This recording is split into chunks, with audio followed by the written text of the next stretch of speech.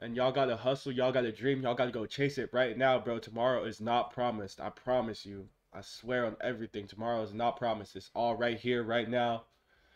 And I'm just trying to I'm trying to put people on, man. Not just like friends, but I'm trying to I'm trying to build something that could last a lifetime. I'm trying to build a legacy, you see what I'm saying?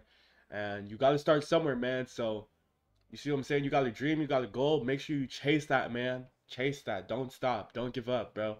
People talk, people hate, whatever, bro. Just chase it. And main thing, main thing is keep God in the middle of it. Because without God, there would be nothing. That's so real, bro. That's so real. But yeah, not trying to get too deep right now.